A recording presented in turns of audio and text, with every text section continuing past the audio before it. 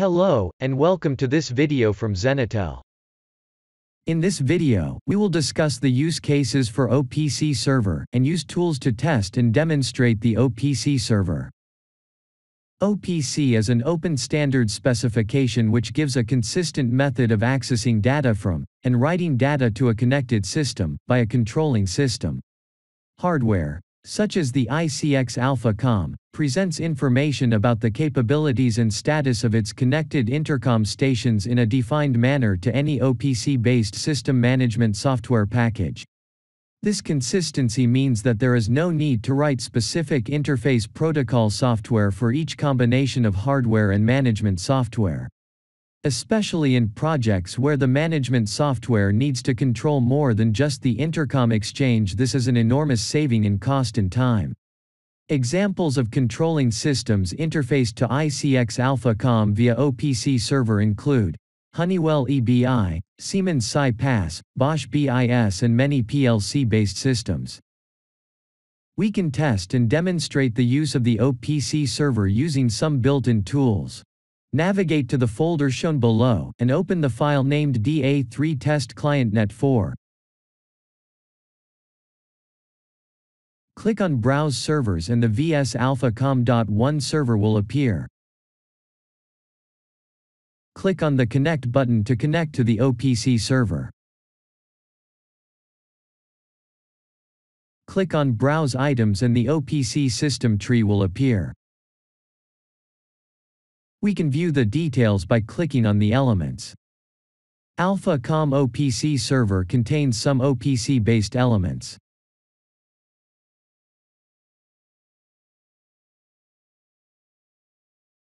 Alpha Global contains the master station list defined in the OPC server configurator.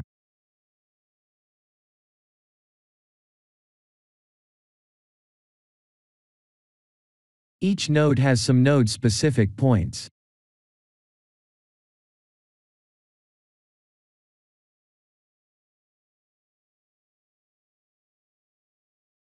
Within each node, all configured stations will be listed.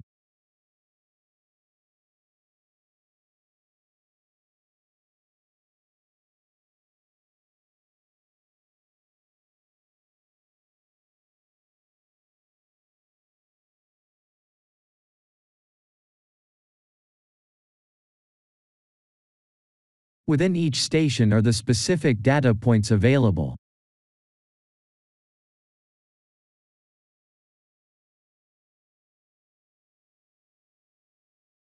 Further expansion of the individual station reveals the inputs and outputs available for each station. We can monitor the status of the nodes by using the node status data point. For each node, add the node status data point to the Read tab.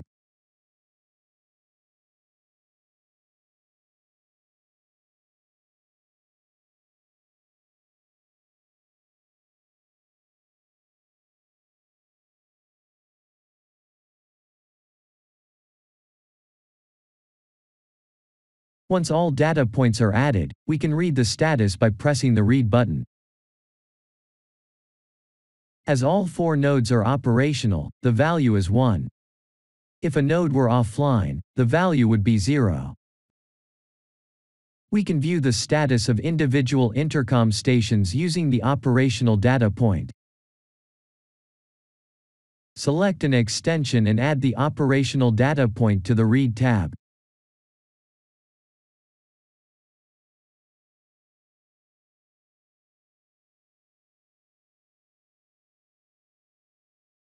You can add stations from multiple nodes.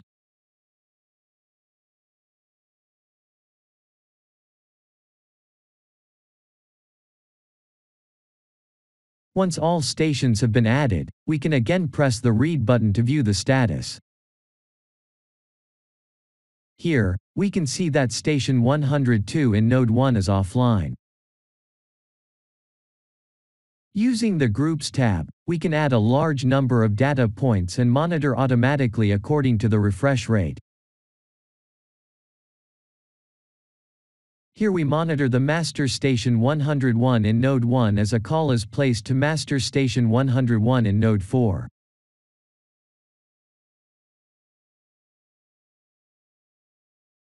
And here we see an incoming call request with the mail queue and queue length points changing to 1.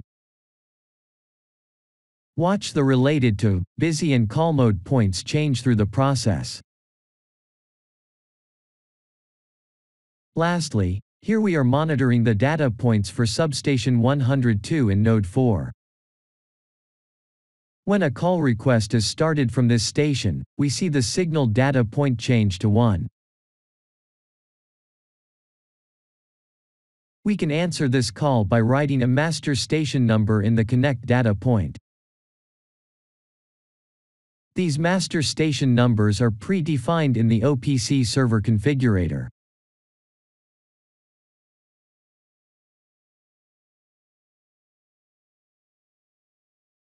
Now we see the call is answered.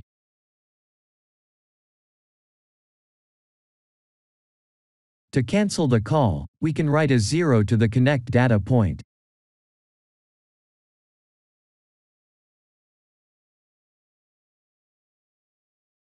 This is only a small example of the many features available for control of the ICX AlphaCom via OPC.